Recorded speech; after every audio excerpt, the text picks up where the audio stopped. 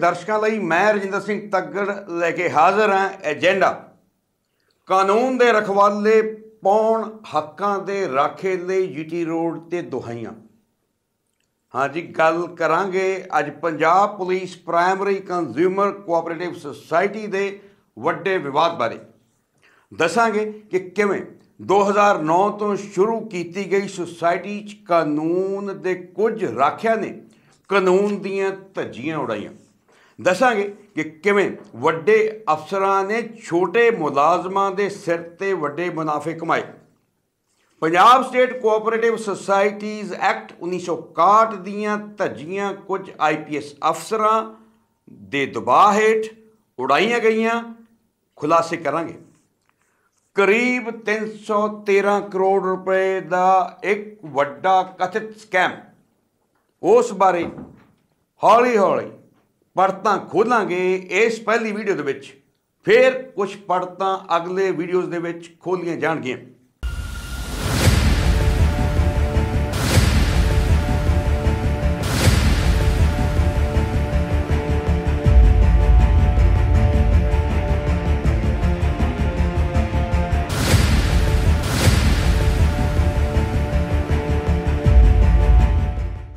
ਆਓ ਸ਼ੁਰੂ ਕਰਦੇ ਹਾਂ ਏਜੰਡਾ। ਸਤਿ ਸ੍ਰੀ ਅਕਾਲ, ਨਮਸਕਾਰ, ਅਦਾਬ ਹੈ ਸਭ ਤੋਂ ਪਹਿਲਾਂ ਇਸ ਖਬਰ ਦੇ ਮੁੱਖ ਪਾਤਰਾਂ ਨਾਲ ਤੁਹਾਡੀ ਜਾਣ ਪਛਾਣ ਕਰਾਉਂਦੇ ਹਾਂ। ਪਹਿਲੇ ਨੰਬਰ ਤੇ ਡੀਜੀਪੀ ਰਿਟਾਇਰਡ ਰਜਿੰਦਰ ਸਿੰਘ, ਦੂਜੇ ਤੇ ਆਈਜੀ ਰਿਟਾਇਰਡ ਜਗਦੀਸ਼ ਕੁਮਾਰ ਮਿੱਤਲ, ਤੀਜੇ ਤੇ ਇੰਸਪੈਕਟਰ ਰਿਟਾਇਰਡ ਭਗਵਾਨ ਦਾਸ ਡਿਸਮਿਸਡ ਪੰਜਵੇਂ ਤੇ ਡਿਵੈਲਪਰ ਜਗਜੀਤ ਸਿੰਘ ਮਾਝਾ, ਛੇਵੇਂ ਤੇ IG retired N S Dhillon. ਸੱਤਵੇਂ ਤੇ ਐਸਐਸਪੀ ਰਿਟਾਇਰਡ ਗੁਰਮੀਤ ਸਿੰਘ ਰੰਧਾਵਾ, ਅੱਠਵੇਂ ਤੇ chief engineer retired Rajinder Singh, ਨੌਵੇਂ ਤੇ ਏਆਈਜੀ ਰਿਟਾਇਰਡ ਦਿਲਬਾਗ ਸਿੰਘ ਪੰਨੂ, ਦਸਵੇਂ ਤੇ ਕਮਾਂਡੈਂਟ ਰਿਟਾਇਰਡ ਇੰਦਰਜੀਤ ਸਿੰਘ ਰੰਧਾਵਾ। ਅਗਲੀ ਖਬਰ 'ਚ ਕੁਝ ਇਹਨਾਂ ਮੁੱਖ ਪਾਤਰਾਂ 'ਚੋਂ ਰੱਦੋ ਬਦਲ ਕੀਤੀ ਜਾਏਗੀ। ਸਾਰੇ ਵਿਵਾਦ ਨੂੰ ਸਮਝਣ ਦੇ ਲਈ ਪਿਛੋਕੜ 'ਚ ਜਾਣ ਦੀ ਜ਼ਰੂਰਤ ਹੈ। 2009 'ਚ ਉਸ ਵਕਤ ਦੇ ਏਡੀਜੀਪੀ ਵੈਲਫੇਅਰ ਰਜਿੰਦਰ ਸਿੰਘ ਨੇ ਪਹਿਲੀ ਕਦਮ ਚੁੱਕਦੇ ਹੋਏ Punjab police primary consumer cooperative society ਦਾ ਗਠਨ ਕਰਵਾਇਆ। ਉਹਨਾਂ ਦਾ head office Chandigarh Punjab police ਦਾ ਹੈੱਡਕੁਆਟਰ ਸੀ ਸੈਕਟਰ 9 ਦੇ ਵਿੱਚ। ਇਸ ਦੇ ਤਹਿਤ ਇੱਕ ਸਟੋਰ, ਯਾਨੀ ਕਿ ਗਰੋਸਰੀ ਸ਼ਾਪ ਹੈੱਡਕੁਆਟਰ ਦੇ ਵਿੱਚ ਖੋਲੀ ਗਈ, ਜਿੱਥੋਂ ਮੁਲਾਜ਼ਮਾਂ ਨੂੰ ਰਾਸ਼ਨ ਪਾਣੀ ਸਸਤੇ ਭਾਅ ਮਿਲ ਸਕੇ। ਮੁੱਢਲੇ ਤੌਰ ਤੇ ਇਸ ਕਮੇਟੀ ਦੇ, ਯਾਨੀ ਕਿ ਸੁਸਾਇਟੀ ਦੇ 21 ਮੈਂਬਰ ਸੀ। ਇਹਨਾਂ 21 ਮੈਂਬਰਾਂ ਚੋਂ 6 ਮੈਂਬਰ ਏਡੀਜੀਪੀ ਰਜਿੰਦਰ ਸਿੰਘ ਦੇ ਪਰਸਨਲ ਸਟਾਫ ਸਟਾਫ ਚੋਂ ਸੀ। ਗਰੋਸਰੀ ਸ਼ਾਪ ਖੋਲਣ ਲਈ ਇਨੀਸ਼ੀਅਲ ਅਮਾਉਂਟ 20 ਲੱਖ ਰੁਪਇਆ ਕਰਜ਼ਾ ਇੱਕ ਮਾਰਟਰ ਸ਼ਹੀਦ ਅਜੀਤ ਸਿੰਘ ਡੀਏਜੀ ਫੰਡ ਚੋਂ ਉਧਾਰ ਲਿੱਤਾ ਗਿਆ, ਜੋ ਕਿ ਹਜੇ ਤੱਕ ਵਾਪਸ ਨਾ ਕੀਤੇ ਜਾਣ ਬਾਰੇ ਚਰਚੇ ਹੋ ਰਹੇ ਨੇ। ਸੁਸਾਇਟੀ ਦੀ ਪਹਿਲੀ ਚੋਣ 20 2010 ਨੂੰ ਹੋਈ। ਜਗਦੀਸ਼ ਕੁਮਾਰ ਮਿੱਤਲ, ਆਈਜੀ ਪ੍ਰਧਾਨ ਚੁਣੇ ਗਏ। Inspector dismissed Bhagwan Das, vice president, DSP Joginder Lal cashier PA to DGP Rajinder Singh, GP Singh ਜੋ ਉਹ ਚੁਣੇ ਗਏ ਮੈਂਬਰ ਐਗਜ਼ੈਕਟਿਵ ਦੇ, ਕੁਲਦੀਪ ਸਿੰਘ, ਹਰਮੀਤ ਸਿੰਘ ਅਤੇ Nirmal Singh executive executive committee ਦੇ ਮੈਂਬਰ। ਏਡੀਜੀਪੀ ਰਜਿੰਦਰ ਸਿੰਘ ਦੇ ਪਰਸਨਲ ਸਟਾਫ ਚੋਂ 6 ਜਣੇ ਇਸ ਸੁਸਾਇਟੀ ਦੇ ਆਮ ਮੈਂਬਰ ਚੁਣੇ ਗਏ Pal Singh inspector cooperative department ਚੋਂ ਰਿਟਾਇਰ ਹੋ ਕੇ ਇਸ ਸੁਸਾਇਟੀ ਦੇ ਐਡਵਾਈਜ਼ਰ ਨਿਯੁਕਤ ਕੀਤੇ ਗਏ। ਇਹ ਇੰਸਪੈਕਟਰ ਏਡੀਜੀਪੀ ਰਜਿੰਦਰ ਸਿੰਘ ਦਾ ਰਿਸ਼ਤੇਦਾਰ ਸੀ। ਹੁਣ ਆ ਗਿਆ ਸਨ 2010 ਜਦੋਂ ਇੱਕ ਵੱਡੇ ਸਕੈਂਡਲ ਦੀ ਨਿਉ ਰੱਖੀ ਗਈ। 25/6/2010 ਨੂੰ ਸੁਸਾਇਟੀ ਦੀ ਇੱਕ ਮੀਟਿੰਗ ਏਡੀਜੀਪੀ ਰਜਿੰਦਰ ਸਿੰਘ ਦੀ ਪ੍ਰਧਾਨਗੀ ਹੇਠ ਹੋਈ, ਜਦੋਂ ਕਿ ਇਸ ਸੁਸਾਇਟੀ ਦੇ ਪ੍ਰਧਾਨ ਜਗਦੀਸ਼ ਕੁਮਾਰ ਮਿੱਤਲ ਸੀ। ਏਡੀਜੀਪੀ ਨੇ ਐਲਾਨ ਕੀਤਾ ਕਿ 50 ਤੋਂ 60 ਏਕੜ ਜ਼ਮੀਨ ਆਇਡੈਂਟੀਫਾਈ ਕਰ ਲਈ ਗਈ ਹੈ ਤੇ ਬਹੁਤ ਜਲਦ ਗਮਾਡਾ ਦੇ ਨਿਯਮਾਂ ਅਨੁਸਾਰ ਮੁੱਲਾਂਪੁਰ ਪਲਾਨ 'ਚ ਆਉਂਦੀ ਇਸ ਜ਼ਮੀਨ ਤੇ ਇੱਕ ਹਾਊਸਿੰਗ ਪ੍ਰੋਜੈਕਟ ਸ਼ੁਰੂ ਕੀਤਾ ਜਾਏਗਾ। ਇਹ ਜ਼ਮੀਨ ਇੱਕ ਡਿਵੈਲਪਰ ਡਿਵੈਲਪਰ ਵੱਲੋਂ ਅੱਗੇ ਵਿਕਸਿਤ ਕੀਤੀ ਜਾਏਗੀ ਤੇ ਇਸ ਵਿੱਚ ਮੈਂਬਰ ਪਲਾਟ ਲੈ ਸਕਣਗੇ। ਦਰਸ਼ਕ ਸਕਰੀਨ ਤੇ ਸੁਸਾਇਟੀ ਦੀ ਪ੍ਰੋਸੀਡਿੰਗ ਬੁੱਕ ਦੇ ਹੱਥ ਲਿਖਤੇ ਕੁਝ ਅੰਸ਼ ਦੇਖ ਸਕਦੇ ਨੇ। ਵੀਡੀਓ ਐਡੀਟਰ ਨੂੰ ਬੇਨਤੀ ਕਰੂੰਗਾ ਕਿ ਉਹ ਦਿਖਾਏ ਜਾਣ। ਇਹ ਵੀ ਰਜਿੰਦਰ ਸਿੰਘ ਨੇ ਐਲਾਨ ਕੀਤਾ ਕਿ ਇੱਕ ਕਮੇਟੀ ਬਣਾ ਦਿੱਤੀ ਗਈ ਹੈ, ਜਿਸ ਦੇ ਮੁਖੀ Inderjit Singh Randhawa, commandant 3rd commando battalion, Chandigarh ਅਤੇ ਕਮਲਜੀਤ ਸਿੰਘ ਐਸਪੀ ਮੋਹਾਲੀ ਹੋਣਗੇ। ਐਲਾਨ ਵਾਲੇ ਦਿਨ ਇੰਦਰਜੀਤ ਸਿੰਘ ਰੰਧਾਵਾ ਅਤੇ ਕਮਲਜੀਤ ਸਿੰਘ ਇਸ ਸੁਸਾਇਟੀ ਦੇ ਪ੍ਰਾਇਮਰੀ ਮੈਂਬਰ ਤੱਕ ਨਹੀਂ ਸੀ। ਪਰ ਉਹਨਾਂ ਨੂੰ ਅਧਿਕਾਰ ਦੇ ਦਿੱਤੇ ਗਏ। ਕਥਿਤ ਤੌਰ ਤੇ ਏਡੀਜੀਪੀ ਦੇ ਇਹ ਦੋਨੋਂ ਅਫਸਰ ਬਹੁਤ ਹੀ ਕਰੀਬੀ ਸੀ। ਦੋਹਾਂ ਨੂੰ ਪੰਜ ਹੋਰ ক্লোਜ਼ ਕੌਨਫੀਡੈਂਸ ਦੇ ਨਾਲ ਜ਼ਿੰਮੇਵਾਰੀ ਦਿੱਤੀ ਗਈ ਕਿ ਉਹ 60 ਏਕੜ ਜ਼ਮੀਨ ਨੂੰ ਫਿਜ਼ੀਕਲੀ ਵੈਰੀਫਾਈ ਕਰਨਗੇ, ਕੀਮਤ ਤੈਅ ਕਰਨਗੇ ਬਿਲਡਰ ਨਾਲ ਐਮ ਓ ਯੂ ਸਾਈਨ ਕਰਨਗੇ draw of allotment of plots ਕੱਢਣਗੇ ਅਤੇ ਪ੍ਰਧਾਨ ਜਗਦੀਸ਼ ਮਿੱਤਲ ਦੀ ਸਹਿਮਤੀ ਵੀ ਲੈ ਲੈਣਗੇ। ਇਸੇ ਦਿਨ ਦੈਟ ਇਜ਼ 25/6/2010 ਨੂੰ ਐਲਾਨ ਕੀਤਾ ਗਿਆ ਕਿ ਮੈਂਬਰ ਪਲਾਟ ਦੀ ਕੀਮਤ ਦਾ 20% 20/7/2010 ਤੱਕ ਜਮ੍ਹਾਂ ਕਰਵਾਉਣਗੇ ਬਾਕੀ 80% ਦੋ ਕਿਸ਼ਤਾਂ ਵਿੱਚ, ਯਾਨੀ ਕਿ 3 9 10 ਨੂੰ ਅਤੇ 10 12 10 ਨੂੰ ਜਮ੍ਹਾਂ ਕਰਵਾਉਣਗੇ। ਇਹ ਸਾਰਾ ਕੁਝ ਪ੍ਰੋਸੀਡਿੰਗ ਬੁੱਕ 'ਚ ਦਰਜ ਹੈ, ਜੋ ਪੰਜਾਬ ਦਸਤਾਵੇਜ਼ ਦੇ ਕੋਲ ਮੌਜੂਦ ਹੈ। ਇਸੇ ਦਿਨ, ਯਾਨੀ ਕਿ 25/6/2010 ਨੂੰ ਘੋਸ਼ਿਤ ਕੀਤਾ ਗਿਆ ਕਿ ਮੈਂਬਰਸ ਨੂੰ ਸੁਸਾਇਟੀ HDFC ਬੈਂਕ ਤੋਂ ਲੋਨ ਦੇਣ ਵਿੱਚ ਸਹਾਇਤਾ ਕਰੇਗੀ। ਪਲਾਟ ਦਾ ਰਕਬਾ 150 square yard 200 square yard 250 300 square yard ਹੋਏਗਾ। ਵੱਡੇ ਆਈਪੀਐਸ ਅਫਸਰ 500 ਸਕੁਅਰ ਯਾਰਡ ਤੇ 900 ਸਕੁਅਰ ਯਾਰਡ ਤੱਕ ਦਾ ਪਲਾਟ ਲੈ ਸਕਣਗੇ। 25/6/2010 ਨੂੰ ਹੀ ਪ੍ਰੋਸੀਡਿੰਗ ਰਜਿਸਟਰ ਦੇ ਮੁਤਾਬਕ ਇਹ ਕਿਹਾ ਗਿਆ ਕਿ ਕੁਝ ਮੈਂਬਰਸ ਨੇ ਪਹਿਲਾਂ ਹੀ ਪਲਾਟ ਦਾ 20% ਜਮ੍ਹਾਂ ਕਰਵਾ ਦਿੱਤਾ। ਹੁਣ ਇੱਥੇ ਗੱਲ ਇਹ ਆਉਂਦੀ ਆ ਕਿ ਜਦੋਂ ਜ਼ਮੀਨ ਖਰੀਦੀ ਨਹੀਂ ਗਈ ਫਿਜ਼ੀਕਲੀ ਵੈਰੀਫਾਈ ਨਹੀਂ ਹੋਈ ਰੇਟ ਜ਼ਮੀਨ ਦਾ ਤੈਅ ਨਹੀਂ ਹੋਇਆ, ਤੇ ਕੀਮਤ 20% ਮੈਂਬਰਾਂ ਨੇ ਪਹਿਲਾਂ ਹੀ ਜਮ੍ਹਾਂ ਕਿਵੇਂ ਕਰਵਾ ਦਿੱਤੀ? ਇਹ ਸਵਾਲ ਪੁੱਛਦੀ ਹੈ ਨਵੀਂ ਕਮੇਟੀ, ਪ੍ਰਬੰਧਕੀ ਕਮੇਟੀ, ਜੋ ਲੋਕਾਂ ਨੇ, ਮੈਂਬਰਾਂ ਨੇ ਹੁਣ ਤਾਜ਼ਾ 2022 ਦੇ ਵਿੱਚ ਚੁਣੀ ਹੈ। ਜਿਸ ਦੇ ਪ੍ਰਧਾਨ ਗੁਰਮੀਤ ਸਿੰਘ ਰੰਧਾਵਾ, ਸਾਬਕਾ ਐਸਐਸਪੀ ਤੇ ਮੀਤ ਪ੍ਰਧਾਨ ਐਨਐਸ ਢਿੱਲੋਂ ਆਈਜੀ ਰਿਟਾਇਰਡ ਨੇ। ਅੱਗੇ ਦੱਸ ਦਿੰਦੇ ਜਿਸ ਦਿਨ ਇਹ ਮੀਟਿੰਗ ਹੋਈ 25 6 2010 ਨੂੰ, ਉਸ ਦਿਨ ਇਸ ਮੀਟਿੰਗ ਦੇ ਵਿੱਚ 45 ਮੈਂਬਰ ਸ਼ਾਮਲ ਸੀ। ਕੁੱਲ ਮੈਂਬਰ ਮੌਜੂਦ ਸੀਗੇ 91 ਬਾਕੀ ਦੇ ਸਾਰੇ ਨੌਨ ਮੈਂਬਰ ਸੀਗੇ। ਉਹਨਾਂ ਦੀ ਹਾਜ਼ਰੀ ਲੱਗ ਨਹੀਂ ਸਕਦੀ ਸੀ। ਯਾਨੀ ਕਿ ਅਧਿਕਾਰਤ ਤੌਰ ਤੇ 45 ਮੈਂਬਰਾਂ ਦੀ ਬੈਠਕ ਦੇ ਵਿੱਚ 60 ਏਕੜ ਜ਼ਮੀਨ ਖਰੀਦਣ ਦਾ ਐਲਾਨ ਫੈਸਲਾ ਕਰ ਦਿੱਤਾ ਗਿਆ। ਇਹਦਾ ਆਧਾਰ ਫਾਈਨੈਂਸ਼ੀਅਲ ਕੀ ਸੀ, ਕੀ ਪਲੈਨਿੰਗ ਸੀ, ਇਹਦੇ ਬਾਰੇ ਬਹੁਤ ਸਾਰੇ ਸਵਾਲ ਨਵੀਂ ਕਮੇਟੀ ਖੜੇ ਕਰ ਰਹੀ ਹੈ, ਜਿਹੜੇ ਕਿ ਜਿਨ੍ਹਾਂ ਦੇ ਜਵਾਬ ਦੇਣੇ ਬਣਦੇ ਆ ਪਿਛਲੇ ਪ੍ਰਬੰਧਕਾਂ ਵੱਲੋਂ।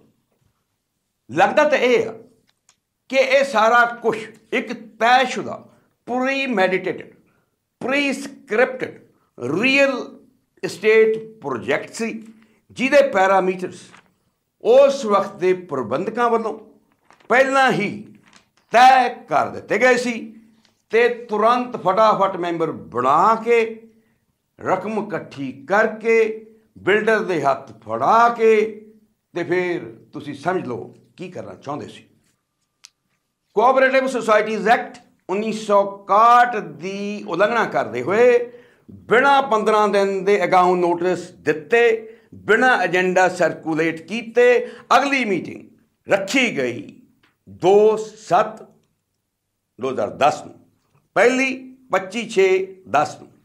ਮਤਲਬ ਕੁੱਲ 6 ਦਿਨਾਂ ਬਾਅਦ ਅਗਲੀ ਮੀਟਿੰਗ ਪ੍ਰੋਸੀਡਿੰਗ ਬੁੱਕ ਦੱਸਦੀ ਹੈ ਕਿ ਇੰਦਰਜੀਤ ਸਿੰਘ ਰੰਧਾਵਾ ਵਾਲੀ ਸਬ ਕਮੇਟੀ ਨੇ ਪੋਗਾ, ਪਿੰਡ ਨੀਅਰ ਚੰਡੀਗੜ੍ਹ 2 ਕਿਲੋਮੀਟਰ ਤੇ 60 ਏਕੜ ਜ਼ਮੀਨ ਵੈਰੀਫਾਈ ਕਰ ਲਈ।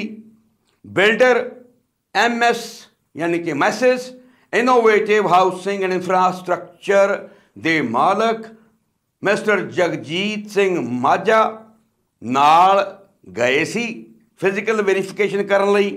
ਪਲਾਟ ਦੀ ਕੀਮਤ ਇਹ ਕਮੇਟੀ ਕਹਿੰਦੀ ਆ 6000 ਤੋਂ 65000 ਰੱਖ ਲੈਣੀ ਚਾਹੀਦੀ ਆ।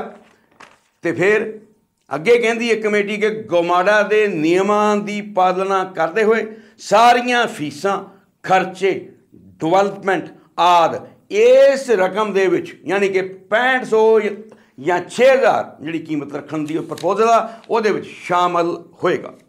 ਜੇ ਬਿਲਡਰ 3 ਸਾਲ ਦੇ ਅੰਦਰ ਅੰਦਰ ਪ੍ਰੋਜੈਕਟ ਕੰਪਲੀਟ ਨਹੀਂ ਕਰਕੇ ਦਿੰਦਾ, ਤਾਂ ਫਿਰ ਮੈਂਬਰਸ ਵੱਲੋਂ HDFC ਬੈਂਕ ਤੋਂ ਲਿੱਤਾ ਗਿਆ ਕਰਜ਼ਾ, ਉਹਦੇ ਉੱਤੇ ਵਿਆਜ ਉਹ ਬਿਲਡਰ ਭਰੇਗਾ।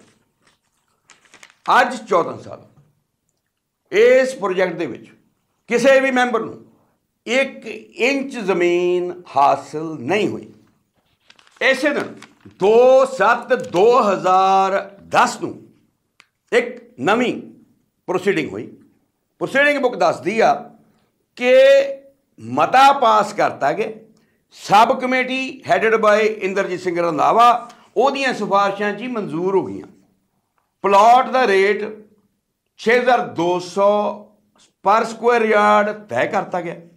ਐਮਓਯੂ ਯਾਨੀ ਕਿ ਬਿਲਡਰ ਨਾਲ, ਡਿਵੈਲਪਰ ਨਾਲ ਸਬ ਕਮੇਟੀ ਸਾਈਨ ਕਰ ਲੇਗੀ ਸ਼ਰਤਾਂ ਉਹਦੀਆਂ ਤੈਅ ਹੋ ਚੁੱਕੀਆਂ ਨੇ। ਤੇ ਫਿਰ ਅਗਲੀ ਗੱਲ ਕੀ ਹੁੰਦੀ? 21/8/2022 ਨੂੰ ਚੁਣੀ ਗਈ ਨਵੀਂ ਕਮੇਟੀ, ਜਿਹਦੇ ਕੇ ਪ੍ਰਧਾਨ ਗੁਰਮੀਤ ਸਿੰਘ ਰੰਧਾਵਾ ਸਾਬਕਾ ਐਸਐਸਪੀ ਨੇ, ਉਹ ਪੁੱਛਦੇ ਆ ਕਿ ਕਮੇਟੀ ਜਿਹੜੀ 2010 ਵਾਲੀ ਸੀ, ਉਸ ਨੇ ਰਾਕਟ ਸਪੀਡ ਨਾਲ ਕੰਮ ਕੀਤਾ। ਗ੍ਰੇਟ ਐਫੀਸ਼ੀਐਂਸੀ ਤੇ ਕੋਆਪਰੇਟਿਵ ਸੋਸਾਇਟੀਜ਼ ਐਕਟ 1961 ਦੀ ਪਰਵਾਹ ਨਾ ਕਰਦੇ ਹੋਏ ਮੈਂਬਰਸ ਨੂੰ 15 ਦਿਨ ਦਾ ਅਗਾਊਂ ਨੋਟਿਸ ਨਾ ਦਿੰਦੇ ਹੋਏ ਏਜੰਡਾ ਸਰਕੂਲੇਟ ਕੀਤੇ ਬਿਨਾ ਫੈਸਲੇ ਉਹ ਕਮੇਟੀ ਕਰਦੀ ਗਈ ਤੇ ਦਸਕਤ ਪ੍ਰਧਾਨ ਤੇ ਕਮੇਟੀ ਦੇ ਐਗਜ਼ੈਕਟਿਵ ਮੈਂਬਰ ਕਰਦੇ ਚਲੇ ਗਏ। ਉਸ ਵਕਤ ਪ੍ਰਧਾਨ ਸੀ, ਦੁਬਾਰਾ ਦੱਸਦੇ ਹਾਂ, Jagdish Mittal IG retired IPS ਅਗਲੀ ਉਲੰਘਣਾ ਕੋਆਪਰੇਟਿਵ ਸੁਸਾਇਟੀਜ਼ ਐਕਟ ਦੀ। ਉਹ ਹੋਈ ਜੀ 12/7/2010 ਨੂੰ, ਜਦੋਂ ਇੱਕ ਫੇਰ ਨਵੀਂ ਮੀਟਿੰਗ ਰੱਖੀ ਗਈ। ਸਿਰਫ ਪਹਿਲੀ, ਯਾਨੀ ਪਿਛਲੀ ਮੀਟਿੰਗ ਤੋਂ 10 ਦਿਨ ਬਾਅਦ। ਇਸ ਮੀਟਿੰਗ ਦੇ ਵਿੱਚ ਕਿਹਾ ਗਿਆ ਕਿ ਸੁਸਾਇਟੀ ਦਾ HDFC ਬੈਂਕ ਖਾਤਾ ਹੇਠ ਲਿਖੇ ਅਨੁਸਾਰ ਇਹ ਬੰਦੇ ਆਪਰੇਟ ਕਰ ਸਕਦੇ ਨੇ, ਜਿਹਦੇ ਵਿੱਚ vice president Bhagwan Das, cashier Jogindarpal, clerk GP Singh ਅਤੇ ਪ੍ਰਧਾਨ ਜਗਦੀਸ਼ ਮਿੱਤਲ ਅਧਿਕਾਰਿਤ ਹੋਣਗੇ। ਦਸਖਤ ਕਰਕੇ ਪੈਸੇ ਕਢਾਉਣ ਜਮ੍ਹਾਂ ਕਰਾਉਣ ਦੇ ਪ੍ਰਧਾਨ ਦਾ ਨਾਮ ਇਸ ਲਿਸਟ ਦੇ ਵਿੱਚ ਸਭ ਤੋਂ ਅਖੀਰ ਤੇ ਲਿਖਿਆ ਗਿਆ। ਹੋਰ ਦੱਸ ਤੇਜ਼ੀ ਨਾਲ 3 ਦਿਨ ਬਾਅਦ ਓਨਲੀ ਆਫਟਰ 3 ਡੇਜ਼ ਅਗਲੀ ਮੀਟਿੰਗ 15/7/2010 ਨੂੰ ਕੀਤੀ ਗਈ। ਹਾਜ਼ਰ ਸਿਰਫ ਐਗਜ਼ੈਕਟਿਵ ਕਮੇਟੀ ਦੇ ਮੈਂਬਰ ਸੀ। ਦੱਸਿਆ ਗਿਆ ਕਿ ਜੀ ਐਮਓਯੂ ਸਾਈਨ ਹੋ ਗਿਆ। ਦੱਸਿਆ ਗਿਆ ਕਿ messrs innovative housing and infrastructure private limited Chandigarh project ਨੂੰ ਸਿਰੇ ਲਾਏਗੀ ਡਿਵੈਲਪਰ ਦੀ ਸਿਲੈਕਸ਼ਨ ਕਿਵੇਂ ਹੋਈ ਕੋਈ ਇਸ਼ਤਿਹਾਰ ਨਹੀਂ ਕੋਈ ਸ਼ਾਰਟ ਲਿਸਟਿੰਗ ਨਹੀਂ ਸਿਰਫ ਇੱਕ ਪ੍ਰੇਮ ਭਾਵ ਨਾਲ ਡਿਵੈਲਪਰ ਮਨ ਪਾਉਂਦਾ ਚੰਗਾ ਲੱਗਦਾ ਉਹ ਚੁਣ ਲਿਆ ਖੈਰ ਉਹਦੇ ਵਿੱਚ ਕੋਈ ਲਿਆਕਤ ਦੇਖੀ ਗਈ ਹੋਣੀ ਆ ਕੋਈ ਪ੍ਰੋਜੈਕਟ ਉਹਨੇ ਇਸ ਕਿਸਮ ਦਾ ਪਹਿਲਾਂ ਨਹੀਂ ਸੀ ਕੀਤਾ ਉਹਦੇ ਵਿੱਚ ਕੋਈ ਉਹਦੀ ਬੈਕਗ੍ਰਾਉਂਡ ਕੋਈ history of handling such a project did not exist ਹੁਣ ਤੁਹਾਨੂੰ ਦੱਸਦੇ ਹਾਂ ਕਿ ਐਮਓਯੂ ਚ ਕੀ ਤੈਅ ਕੀਤਾ ਗਿਆ। ਫਿਰ ਦੱਸਾਂਗੇ ਕਿ ਐਮਓਯੂ ਚ ਤੈਅ ਕੀਤੀਆਂ ਸ਼ਰਤਾਂ ਦੀ ਉਲੰਘਣਾ ਧੱਜੀਆਂ ਕਿਵੇਂ ਉਡਾਈਆਂ ਐਮਓਯੂ ਮੁਤਾਬਕ 557 ਬਣ ਚੁੱਕੇ ਮੈਂਬਰਾਂ ਲਈ 54.62 ਏਕੜ ਜ਼ਮੀਨ ਲੋੜੀਂਦੀ ਸੀ। ਇਸ ਵਿੱਚੋਂ ਸਰਵਿਸਿਜ਼ ਏਰੀਆ ਕੱਢ ਕੇ ਗਮਾਡਾ ਦੇ ਨਿਯਮਾਂ ਅਨੁਸਾਰ 1.18 ਲੱਖ ਸਕੁਆਇਰ ਯਾਰਡ ਜ਼ਮੀਨ ਡਿਵੈਲਪ ਕਰਕੇ ਰੈਜ਼ੀਡੈਂਸ਼ੀਅਲ ਏਰੀਆ ਬਣਾ ਕੇ ਇਹ ਸੁਸਾਇਟੀ ਨੂੰ ਦੇਣੀ ਸੀ ਇਸ ਡਿਵੈਲਪਰ ਬਿਲਡਰ ਮਿਸਟਰ ਮਾਜਾ ਪਲਾਟਾਂ ਦੀ ਸ਼ਕਲ ਵਿੱਚ ਹੋਣੀ ਸੀ। ਪਰ ਸੁਸਾਇਟੀ ਉਸ ਵਕਤ ਦੇ ਪ੍ਰਬੰਧਕਾਂ ਨੇ ਪ੍ਰਧਾਨ ਜਗਦੀਸ਼ ਕੁਮਾਰ ਮਿੱਤਲ ਉਪ ਪ੍ਰਧਾਨ ਭਗਵਾਨ ਦਾਸ ਅਤੇ ਬਾਕੀ ਦੇ 6 ਹੋਰ ਐਗਜ਼ੈਕਟਿਵ ਮੈਂਬਰਸ ਨੇ ਬਿਲਡਰ ਨੂੰ 60 ਏਕੜ ਜ਼ਮੀਨ ਲਈ 73.16 ਕਰੋੜ ਰੁਪਏ ਦੀ ਅਦਾਇਗੀ ਕਰ ਦਿੱਤੀ। ਮਤਲਬ ਹੈ ਕਿ 2.84 ਕਰੋੜ ਅਤਿਰਿਕਤ ਦਿੱਤਾ ਤੇ ਰਕਬਾ ਕਰੀਬ 5.5 ਏਕੜ ਵਾਧੂ ਹੱਸਦੇ ਹੱਸਦੇ ਹੀ ਲੈ ਦਿੱਤਾ। ਇਹ ਸਾਰਾ ਰਕਬਾ ਪਿੰਡ ਤੋਗਾ ਦੇ ਵਿੱਚ ਹੋਣਾ ਸੀ।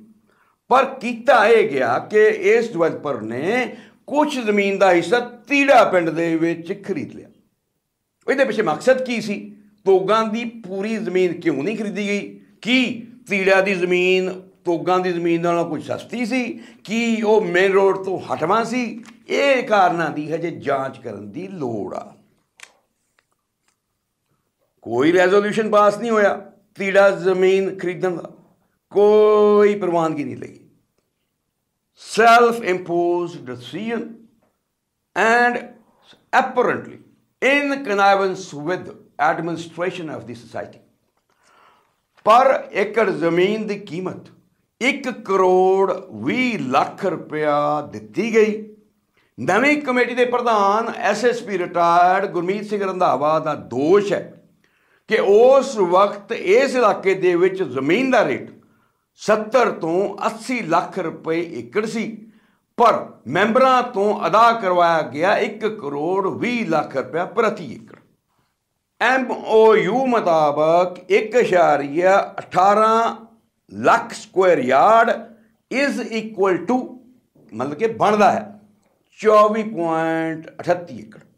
ਜ਼ਮੀਨ ਪਲਾਟਸ ਤੋਂ ਇਲਾਵਾ 5 ਏਕੜ ਰਕਬਾ ਕਮਰਸ਼ੀਅਲ ਐਂਡ ਇੰਸਟੀਟਿਊਸ਼ਨਲ ਇੰਸਟੀਟਿਊਸ਼ਨਲ ਦਾ ਮਤਲਬ ਸਕੂਲ ਆਦ ਖੋਲਣਾ ਕਰੈਚ ਖੋਲਣਾ ਉਹਦੀ ਡਿਵੈਲਪਮੈਂਟ ਤੋਂ ਬਾਅਦ ਇਹ ਬਿਲਡਰ ਨੇ ਇਹ ਸਾਰਾ ਵੇਚ ਕੇ ਜੋ ਇਨਕਮ ਹੋਣੀ ਸੀ, ਉਹਦੇ ਨਾਲ ਇਸ ਪ੍ਰੋਜੈਕਟ ਦੇ ਵਿੱਚ ਸਰਵਿਸਿਜ਼ ਪ੍ਰੋਵਾਈਡ ਕਰਨੀਆਂ ਸੀ।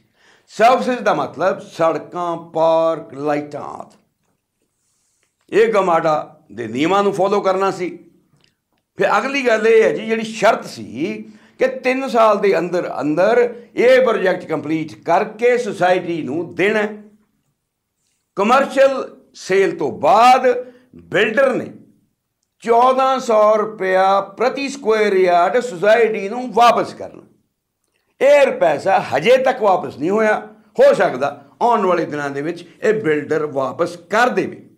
ਪਰ ਇਹ ਤੋਂ ਅੱਗੇ ਹੋਰ ਮਜ਼ੇਦਾਰ ਗੱਲ ਤੁਹਾਨੂੰ ਦੱਸਦੇ ਆਂ ਇਹ 1400 ਦੇ ਨਾਲ ਬਣਦਾ ਸੀ 16.52 ਕਰੋੜ ਰੁਪਏ ਜਿਹੜਾ ਕਿ ਬਿਲਡਰ ਨੇ ਵਾਪਸ ਕਰਨਾ ਸੀ, ਜਿਹੜਾ ਕਿ ਹਜੇ ਤੱਕ ਹੋਇਆ ਨਹੀਂ। ਪਰ ਉਹ ਤੋਂ ਇਲਾਵਾ ਇੱਕ ਕੋਰ ਕਮੇਟੀ ਬਣਾਈ ਗਈ। 8/3/2014 ਨੂੰ ਇਸ ਕੋਰ ਕਮੇਟੀ ਦੇ ਮੈਂਬਰਾਂ ਨੇ 1600 ਰੁਪਏ ਮੈਂਬਰਾਂ ਤੇ ਪਰ ਸਕੁਅਰ ਯਾਰਡ ਹੋਰ ਟੈਕਸ ਲਾ ਵਿਕਾਸ ਕਾਸਟ ਐਸਕੇਲੇਸ਼ਨ ਕਹਿੰਦੇ ਜੀ ਹੋ ਗਈ ਹੈ ਜ਼ਮੀਨ ਦੀ। ਸਰਕਾਰ ਦੀਆਂ ਨੀਤੀਆਂ ਬਦਲ ਗਈਆਂ। ਈਡਬਲਯੂਐਸ e ਸਕੀਮ ਦਾ ਖਰਚਾ ਵੱਧ ਗਿਆ ਤੇ ਆਦ ਆਦ ਗੱਲਾਂ ਕਰਕੇ 1600 ਰੁਪਇਆ ਹੋਰ ਦੇ ਦਿਓ ਪ੍ਰਤੀ ਸਕੁਅਰ ਯਾਰਡ ਇਸ ਕੋਰ ਕਮੇਟੀ ਦੇ ਮੈਂਬਰਾਂ ਦੇ ਤੁਹਾਨੂੰ ਨਾਂ ਦੱਸ ਦਿੰਦੇ। ਜਿਨ੍ਹਾਂ ਨੇ 16 1600 ਰੁਪਇਆ ਮੈਂਬਰਾਂ ਤੋਂ ਹੋਰ ਦਵਾਤਾ। ਜਦੋਂ ਕਿ ਹੁਣ ਤੱਕ 1 ਇੰਚ, ਇੱਕ ਵੀ ਪਲਾਟ ਕਿਸੇ ਮੈਂਬਰ ਨੂੰ 2009 ਤੋਂ ਲੈ ਕੇ ਹੁਣ ਤੱਕ ਮਿਲਿਆ ਨਹੀਂ। ਯਾਨੀ ਕਿ 2014 ਤੱਕ ਨਹੀਂ ਮਿਲਿਆ। ਚਲੋ 2010 ਇਹ ਪ੍ਰੋਜੈਕਟ ਸ਼ੁਰੂ ਹੋਇਆ 10 11 12 13 14 ਨਹੀਂ ਮਿਲਿਆ। ਮੈਂਬਰਾਂ ਦੇ ਨਾਂ ਸੁਣਾ ਦੋ DGP retired S K Verma. ADGP retired Rajinder Singh. IGP serving ਇਸ ਵਕਤ। Shashi Prabha, madam. IG serving Navdeep Singh Virk IG retired Jagdish Kumar Mittal IG retired ਬਲਕਿ ਆਈਜੀ ਤਾਂ ਨਹੀਂ ਹੁਣ ਕਰ DGP vigilance bureau retired B K Uppal ਜੋ ਸ਼ਾਇਦ ਵਿਦੇਸ਼ ਯਾਤਰਾ ਤੇ ਨੇ ਲੰਮੇ ਸਮੇਂ ਤੋਂ ਤੇ ਫਿਰ DIG serving S K Verma alias Shive Verma IPS SP retired Inderjit Singh Randhawa ਅਤੇ 11 ਹੋਰ ਜੂਨੀਅਰ ਨਾਨ ਗਸਟਡ ਛੋਟੇ ਅਫਸਰ ਮੁਲਾਜ਼ਮ। ਇਹਨਾਂ ਦੀ ਕੋਰ ਕਮੇਟੀ ਨੇ ਇਹ ਫੈਸਲਾ 1600 ਰੁਪਇਆ ਪ੍ਰਤੀ ਸਕੁਅਰ ਯਾਰਡ ਬਿਲਡਰ ਨੂੰ ਦਿਵਾਉਣ ਦਾ ਕਰ ਦਿੱਤਾ ਔਰ ਮੈਂਬਰਾਂ ਨੇ ਮਜਬੂਰੀ ਵਸ ਦੇ ਵੀ ਦਿੱਤਾ। ਹੁਣ ਤੁਸੀਂ ਸੋਚੋ ਕਿ 1600 ਰੁਪਏ ਪਰ ਸਕੁਅਰ ਯਾਰਡ ਨਾਲ ਰਕਮ ਕਿੰਨੀ ਬਣੀ? ਇਹ ਬਣੀ ਜੀ 18.88 ਕਰੋੜ ਰੁਪਇਆ ਬਿਲਡਰ ਨੂੰ ਐਡੀਸ਼ਨਲ ਦਵਾਤਾ ਬਿਕੋਜ਼ ਆਫ ਕਾਸਟ ਐਸਕੇਲੇਸ਼ਨ ਜਦੋਂ ਕਿ ਦੱਸਣ ਜੇ ਆਉਂਦਾ ਕਿ ਉਦੋਂ ਰਿਸੈਸ਼ਨ ਚੱਲ ਰਿਹਾ ਸੀ ਪੰਜਾਬ 'ਚ, ਕੀਮਤਾਂ ਦੇ ਵਿੱਚ ਗਿਰਾਵਟ ਹੋ ਰਹੀ ਸੀ, ਤੇ ਫਿਰ ਰਿਸੈਸ਼ਨ ਦੇ ਦੌਰਾਨ ਤੋਗਾਂ ਦੀ, ਤੀੜਿਆਂ ਦੀ ਪ੍ਰਾਪਰਟੀ ਐਸਕੇਲੇਟ ਕਰ ਰਹੀ ਸੀ। ਇਹ ਇਕਨੋਮਿਕਸ ਦਾ ਫਾਰਮੂਲਾ ਇਸ ਕੋਰ ਕਮੇਟੀ ਨੇ ਮੰਨਦੇ ਹੋਏ ਪੈਸੇ, ਮੈਂਬਰਾਂ ਤੇ ਹੋਰ ਆਇਤ ਕਰ ਦਿੱਤੇ। ਨਵੀਂ ਕਮੇਟੀ ਦਾ ਦੋਸ਼ ਹੈ ਕਿ 60 ਏਕੜ ਜ਼ਮੀਨ ਚੋਂ 34.5 ਏਕੜ ਜ਼ਮੀਨ ਗੈਰ ਕਾਨੂੰਨੀ ਤਰੀਕੇ ਨਾਲ ਸੁਸਾਇਟੀ ਤੋਂ ਬਿਲਡਰ ਨੇ ਆਪਣੇ ਨਾਮ ਕਰਵਾ ਲਈ ਤੇ ਉਸ ਵਕਤ ਦੇ ਪ੍ਰਬੰਧਕਾਂ ਨੇ ਕਰ ਦਿੱਤੀ। 8 12 2011 ਨੂੰ ਜਦੋਂ ਜਗਦੀਸ਼ ਕੁਮਾਰ ਮਿੱਤਲ ਪ੍ਰਧਾਨ ਸੀ, ਉਦੋਂ ਇਹ ਕੰਮ ਹੋਇਆ। 26 ਏਕੜ ਦੀ ਰਜਿਸਟਰੀ ਉੱਤੇ ਰਜਿਸਟਰਾਰ ਦੇ ਦਸਖਤ ਹੀ ਹੈ ਨਹੀਂ, ਯਾਨੀ ਕਿ ਤਹਿਸੀਲ ਦੇ ਸਾਈਨ ਹੀ ਹੈ ਨਹੀਂ। ਫਿਰ ਜਿਹੜੀ ਦੂਜੀ ਰਜਿਸਟਰੀ 8 ਏਕੜ ਵਾਲੀ ਆ ਉਹਦੇ ਸਾਈਨ ਹੈਗੇ ਆ। ਮਾਲ ਅਧਿਕਾਰੀਆਂ ਦੀ ਮਿਲੀ ਭੁਗਤ ਨਾਲ ਇਹ ਸਾਰੀ ਜ਼ਮੀਨ ਦੀ 34.5 ਏਕੜ ਦਾ ਇੰਤਕਾਲ ਵੀ ਬਿਲਡਰ ਦੇ ਨਾਮ ਤੇ ਝਾੜ ਦਿੱਤਾ ਗਿਆ। ਅੱਗੇ ਦੱਸਦੇ ਕਿ ਰਜਿਸਟਰੀ ਕਰਾਉਣ ਦੇ ਅਧਿਕਾਰ ਦਿੱਤੇ ਸੀ ਦੋ ਜਣਿਆਂ ਨੂੰ। ਭਗਵਾਨ ਦਾਸ ਵਾਈਸ ਪ੍ਰੈਜ਼ੀਡੈਂਟ ਤੇ ਕਲਰਕ ਜੀਪੀ ਸਿੰਘ ਨੂੰ। ਪਰ ਰਜਿਸਟਰੀ ਕਰਾਉਣ ਵਕਤ ਕੱਲਾ ਜੀਪੀ ਸਿੰਘ ਹੀ ਜਾ ਕੇ ਜ਼ਮੀਨ ਬਿਲਡਰ ਦੇ ਨਾਂ ਕਰਾਇਆ। ਤੇ ਕਿਹੋ ਜੀ ਕਰਾ ਕੇ ਹੈ ਕਿ ਇੱਕ ਤੇ ਤਹਿਸੀਲਦਾਰ ਦੇ 26 ਏਕੜ ਤੇ ਦਸਖਤ ਹੀ ਹੈ ਇਹ ਰਜਿਸਟਰੀ ਦੀ ਕਾਪੀ ਕੱਲ ਦੀ ਡੇਟ ਦੇ ਵਿੱਚ ਸਾਨੂੰ ਪ੍ਰਾਪਤ ਹੋ ਚੁੱਕੀ ਆ। ਵੇਖਣਾ ਚਾਹੇ, ਦਿਖਾ ਸਕਦੇ ਆ। ਵੀਡੀਓ ਐਡੀਟਰ ਨੂੰ ਬੇਨਤੀ ਕਰੂੰਗਾ, ਜਰਾ ਸਕਰੀਨ ਤੇ ਟਿਕਾ ਕੇ ਜੀ। ਇਹ ਰਜਿਸਟਰੀ ਦਿਖਾ ਦੇਵੇ ਤੇ ਦਸਖਤ ਜਿੱਥੇ ਹੋਣੇ ਚਾਹੀਦੇ ਸੀ, ਨਹੀਂ ਹੋਏ, ਉੱਥੇ ਗੋਲ ਧਾਰਾ ਮਾਰ ਦੇਵੇ। 2010 ਦੇ ਐਮਓਯੂ ਤੋਂ ਬਾਅਦ ਇੱਕ ਨਵਾਂ ਐਮਓਯੂ 2011 ਦੇ ਵਿੱਚ ਸਾਈਨ ਕੀਤਾ ਗਿਆ। ਪ੍ਰੋਜੈਕਟ 2 ਕਹਿੰਦੇ ਜੀ, ਹੋਰ ਜ਼ਮੀਨ ਲੈ ਲਈਏ। ਉਹਦਾ ਮੁੱਲ ਰੱਖਿਆ ਗਿਆ 14500 ਰੁਪਏ ਪਲੱਸ ਇਨਕਲੂਡਿੰਗ ਡਿਵੈਲਪਮੈਂਟ ਚਾਰजेस ਤੇ 35 ਕਰੋੜ ਰੁਪਈਆ ਇਕੱਠਾ ਕਰਕੇ ਇਸ ਬਿਲਡਰ ਨੂੰ ਦੇਤਾ ਗਿਆ, ਜ਼ਮੀਨ ਸੋਸਾਇਟੀ ਦੇ ਨਾਂ ਖਰੀਦਣੀ ਸੀ। ਖਰੀਦੀ 1 ਇੰਚ ਸੋਸਾਇਟੀ ਦੇ ਨਾਂ ਤੇ ਨਹੀਂ, ਆਪਣੇ ਨਾਂ ਤੇ ਜ਼ਮੀਨ ਖਰੀਦ ਲਈ ਤੇ ਇਸ ਐਮਓਯੂ ਨੂੰ ਸਾਈਨ ਕਰਨ ਵਾਸਤੇ ਕੋਈ ਰੈਜ਼ੋਲੂਸ਼ਨ ਪਾਸ ਨਹੀਂ ਕੀਤਾ ਗਿਆ। ਵਾਇਲੇਟਿੰਗ ਕੋਆਪਰੇਟਿਵ ਸੁਸਾਇਟੀਜ਼ ਐਕਟ 1961 ਤੇ ਸਾਈਨ ਕਰਨ ਵਾਲੇ ਬੰਦੇ ਦੋ, ਜਗਦੀਸ਼ ਮਿੱਤਲ ਪ੍ਰਧਾਨ ਤੇ ਜਗਜੀਤ ਮਾਝਾ। ਮੈਂਬਰਾਂ ਦੀ ਕੋਈ ਪੁੱਛ ਨਹੀਂ। ਪੈਸੇ ਮੈਂਬਰਾਂ ਦੀ ਜੇਬ ਚੋਂ ਤੇ ਜਾਂਦੇ ਸਿੱਧੇ ਬਿਲਡਰ ਦੇ ਬੋਝੇ 'ਚ ਜ਼ਮੀਨ ਵੀ ਬਿਲਡਰ ਦੀ। ਐਮਓਯੂ ਦੀ ਕੰਡੀਸ਼ਨ ਕਿ ਜ਼ਮੀਨ ਸੁਸਾਇਟੀ ਦੇ ਨਾਂ ਖਰੀਦਣੀ ਆ ਤੇ ਖਰੀਦ ਦਾ ਟੈਂਗਾ ਨਹੀਂ ਇਸ ਨਵੇਂ ਕਾਂਡ ਦੀ 2011 ਵਾਲੇ ਦੀ ਸ਼ਿਕਾਇਤ ਨਵੀਂ ਪ੍ਰਬੰਧਕੀ ਕਮੇਟੀ ਨੇ ਯੂਟੀ ਪੁਲਿਸ ਨੂੰ ਕਰਤੀ ਆ। ਅੱਜ ਸਾਡੀ ਗੱਲ ਡੀਜੀਪੀ ਯੂਟੀ ਪਰਵੀਰ ਰੰਜਨਾ ਹੋਈ। ਉਹਨਾਂ ਨੇ ਸਾਨੂੰ ਦੱਸਿਆ ਕਿ ਇਹਦੀ ਕੋਖ ਇਕਨੋਮਿਕ ਆਫੈਂਸਸ ਵਿੰਗ ਕਰ ਰਿਹਾ ਤੇ ਬਹੁਤ ਜਲਦੀ ਅਸੀਂ ਨਤੀਜੇ ਕੱਢ ਕੇ ਦੇਵਾਂਗੇ। ਇਸ ਐਮਓਯੂ ਤੇ ਦਸਖਤਾਂ ਤੋਂ ਬਿਨਾ ਕੋਈ ਵਿਟਨੈਸ ਨਹੀਂ ਹੈਗਾ। ਇਹ ਐਮਓਯੂ ਰਜਿਸਟਰਡ ਨਹੀਂ ਹੈਗਾ। ਇਹ ਐਮਓਯੂ ਨੋਟਰਾਈਜ਼ਡ ਵੀ ਹੈ ਨਹੀਂ। ਇਸ ਐਮਓਯੂ ਦੀ ਕੀ ਲੀਗਲ ਐਕਸੈਪਟੇਬਿਲਿਟੀ ਆ, ਇਹ ਆਉਣ ਵਾਲਾ ਸਮਾਂ ਦੱਸੂਗਾ। ਪਰ ਨੇਕਡ ਹੈ ਪਹਿਲੀ ਨਜ਼ਰੇ। ਇਹ ਮਾਮਲਾ ਸ਼ੱਕੀ ਨਜ਼ਰ ਆਉਂਦਾ ਤੇ ਇਸ ਦੀ ਵੀ ਜਾਂਚ ਚੱਲ ਹੀ ਰਹੀ ਆ। ਵੇਖਣ ਵਾਲੀ ਗੱਲ ਆ ਕਿ ਯੂਟੀ ਪੁਲਿਸ ਕਿੰਨਾ ਸਮਾਂ ਲਾ ਕੇ ਕਿਸੇ ਨਤੀਜੇ ਤੇ ਪਹੁੰਚਦੀ ਆ ਜਾਂ ਫਿਰ ਇਹਨਾਂ ਨਵੇਂ ਪ੍ਰਬੰਧਕਾਂ ਨੂੰ ਕਿਸੇ ਹੋਰ ਅਦਾਰੇ ਦਾ ਦਰਵਾਜ਼ਾ ਖੜਕਾ ਕੇ, ਕਾਨੂੰਨੀ ਤੌਰ ਤੇ ਸਹਾਇਤਾ ਲੈ ਕੇ ਸੀਬੀਆਈ ਦੀ ਕਿਤੇ ਜਾਂਚ ਕਰਵਾਉਣ ਦੀ ਮੰਗ ਉਹ ਨਾ ਕਰਨੀ ਪੈ ਜਾਏ। ਇਹ ਆਉਣ ਵਾਲਾ ਸਮਾਂ ਦੱਸੇਗਾ ਹੁਣ ਤੁਹਾਨੂੰ ਸੰਖੇਪ ਚ ਦੱਸਦੇ ਹਾਂ ਕਿ ਉਸ ਵਕਤ ਦੇ ਪ੍ਰਧਾਨ ਜਗਦੀਸ਼ ਮਿੱਤਲ, ਜੋ ਕਿ 2018 ਚ ਕਹਿੰਦੇ ਆ ਜੀ, ਅਸਤੀਫਾ ਦੇ ਕੇ ਰਵਾਨਾ ਹੋ ਗਏ। ਤੇ ਫਿਰ ਉਸ ਵਕਤ ਦੇ ਏਡੀਜੀਪੀ ਹੁਣ ਰਿਟਾਇਰਡ ਡੀਜੀਪੀ ਰਜਿੰਦਰ ਸਿੰਘ ਨਾਲ ਜਦੋਂ ਅਸੀਂ ਸੰਪਰਕ ਕੀਤਾ, ਉਹਨਾਂ ਨੇ ਸਾਨੂੰ ਕੀ ਦੱਸਿਆ, ਕੀ ਸਮਝਾਉਣ ਦੀ ਕੋਸ਼ਿਸ਼ ਕੀਤੀ ਉਹ ਸਾਰੀਆਂ ਗੱਲਾਂ ਤੁਹਾਡੇ ਨਾਲ ਆਪਾਂ ਹੁਣੇ ਸ਼ੇਅਰ ਕਰਦੇ ਮਿੱਤਲ ਸਾਹਿਬ ਕਹਿੰਦੇ ਆ ਕਿ ਮੇਰੇ ਸਮੇਂ ਦੌਰਾਨ ਇੱਕ ਨਵੇਂ ਪੈਸੇ ਦੀ ਹੇਰਾ ਫੇਰੀ ਇਸ ਪ੍ਰੋਜੈਕਟ 'ਚੋਂ ਮੈਂ ਹੋਣ ਨਹੀਂ ਦਿੱਤੀ।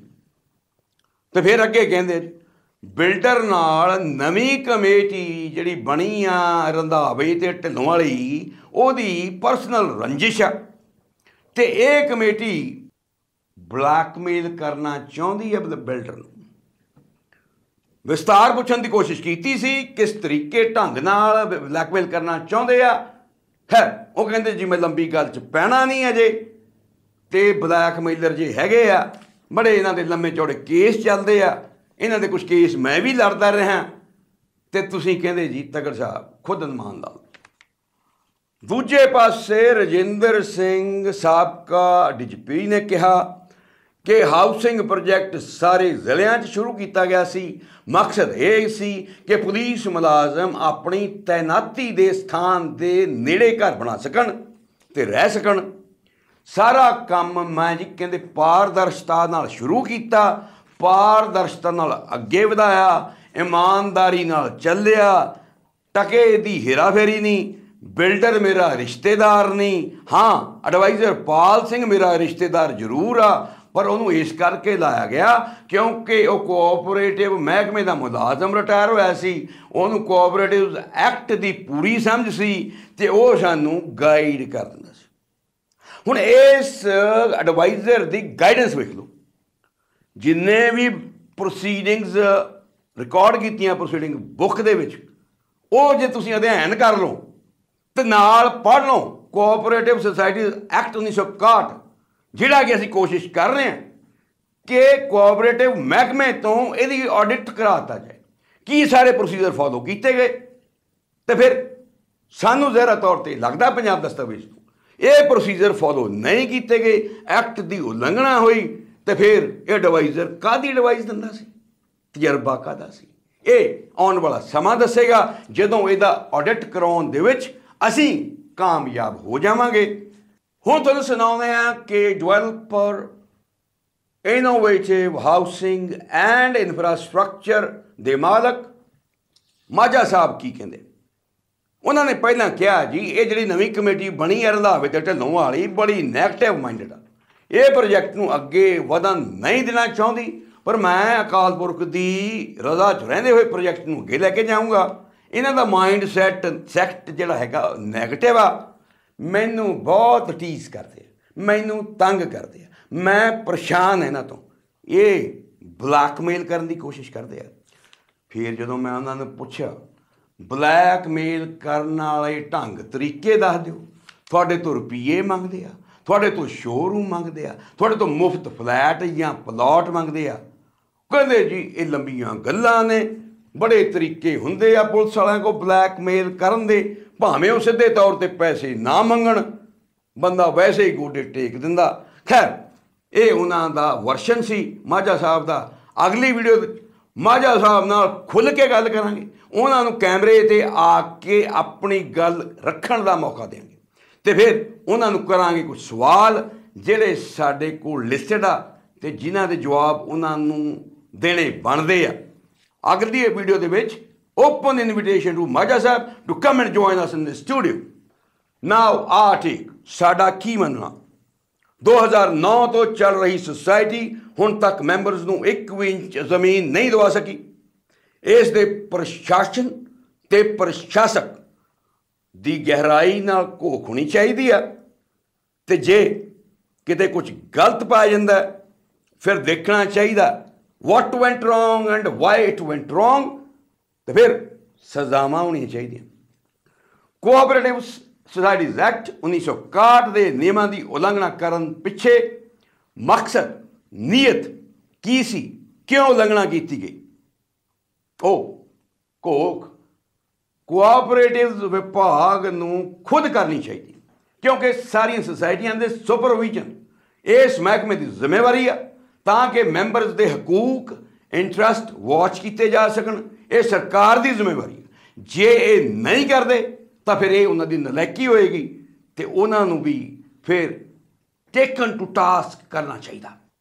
ਆਈਪੀਐਸ ਅਫਸਰਾਂ ਦੇ ਦਬਾਅ ਹੇਠ ਆ ਕੇ ਕੰਮ ਕਰ ਰਹੀ ਇਸ ਸੁਸਾਇਟੀ ਦੇ ਪ੍ਰਬੰਧਕਾਂ ਵੱਲੋਂ ਦਿੱਤੇ ਗਏ ਫੈਸਲਿਆਂ ਦੀ ਜੇ ਕਿ ਉਹ ਗਲਤ ਨੇ, ਜੇ ਗਲਤ ਨੇ, ਤਾਂ ਉਹਦੀ ਰਿਸਪੌਂਸਿਬਿਲਟੀ ਫਿਕਸ ਕਰਨੀ ਚਾਹੀਦੀ ਆ। ਕੋਆਪਰੇਟਿਵ ਡਿਪਾਰਟਮੈਂਟ ਨੂੰ ਜਾਂ ਫਿਰ ਪੁਲਿਸ ਡਿਪਾਰਟਮੈਂਟ ਨੂੰ ਤੇ ਅਗਲੀ ਗੱਲ, ਚੌਥਾ ਪੁਆਇੰਟ ਨਵੀਂ ਪ੍ਰਬੰਧਕ ਕਮੇਟੀ ਵੱਲੋਂ ਫਰਾਡ ਦੀਆਂ ਪੁਲਿਸ ਨੂੰ ਕੀਤੀਆਂ ਸ਼ਿਕਾਇਤਾਂ ਤੇ ਤੇਜ਼ੀ ਨਾਲ ਜਾਂਚ ਹੋਵੇ। ਜੇ ਐਫ ਆਈ ਆਰ ਦਰਜ ਕਰਨੀ ਬਣਦੀ ਹੈ, ਤੁਰੰਤ ਕੀਤੀ ਜਾਏ। ਜੇ ਐਫ ਆਈ ਆਰ ਦਰਜ ਬਣਨੀ ਨਹੀਂ ਸਾਬਤ ਹੁੰਦੀ, ਤਾਂ ਫਿਰ ਸ਼ਿਕਾਇਤਾਂ ਦਾਖਲ ਦਫ਼ਤਰ ਕਰਤੀਆਂ ਜਾਣ। ਰੱਦੀ ਛੱਡ ਦਿਓ, ਤਾਂ ਕਿ ਇਹ committee next course next remedy ਲੱਭਣ ਵਿੱਚ ਅੱਗੇ ਤੁਰੇ। ਪੰਜਵਾਂ ਪੁਆਇੰਟ ਡਿਵੈਲਪਰ ਜਗਜੀਤ ਸਿੰਘ ਮਾਝਾ ਦੇ ਰੋਲ ਦੀ ਗਹਿਰਾਈ ਨਾਲ ਜਾਂਚ ਹੋਵੇ, ਜੇ ਦੋਸ਼ ਮਿਲਦਾ ਹੈ ਤੇ ਕਾਰਵਾਈ ਹੋਵੇ, ਜੇ ਦ- ਨਿਰਦੋਸ਼ਾ ਨਿਕਲਦਾ ਹੈ ਤੇ ਫਿਰ ਉਹਦੀ ਖਿੱਚ ਧੂ, ਉਹਦੀ ਬਦਨਾਮੀ ਵੀ ਬੰਦ ਹੋਣੀ ਚਾਹੀਦੀ ਆ। ਧੱਕਾ ਉਹਦੇ ਨਾਲ ਹੋਣਾ ਨਹੀਂ ਚਾਹੀਦਾ। ਜੇ ਉਹਨੂੰ ਘਾਟਾ ਘੁਟਾ ਪਿਆ, ਜਿਵੇਂ ਉਹ ਕਹਿੰਦਾ ਪਿਆ ਮੈਨੂੰ, ਤਾਂ ਫਿਰ ਉਹਦੇ ਵੀ ਇੱਕ ਸਿੰਪਥੈਟਿਕ ਵਿਊ ਲੈਣਾ ਚਾਹੀਦਾ।